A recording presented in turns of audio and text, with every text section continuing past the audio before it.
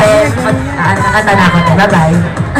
Sir, salamat ha. Salamat sa mga tarpaulin. Sobrang salamat sa suporta nyo. Ay lang. Again, ang Prism, Kabanatuan, syempre kay Jay Isidro, maraming maraming salamat sa inyo. Una pa lang isa na isa mga nagtiwala sa akin na nagpo-perform ako sa stage. Actually, nagkaroon kami ng unang kanta natin ba, di ba? Di ako kabet, bitch, bitch. Oo, di ba? Oo, saya niyo. Again, maraming salamat sa mga nagpunta dito. At sa iba, sa iba na, hinatak lang ng mga tropa nila kahit hindi naman ako trip. Maraming maraming salamat sa inyo.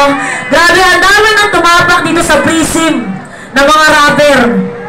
Pero isa lang ang masasabi ko. Tangin na yung kanta niya, sikat lang yung akin tumatatak.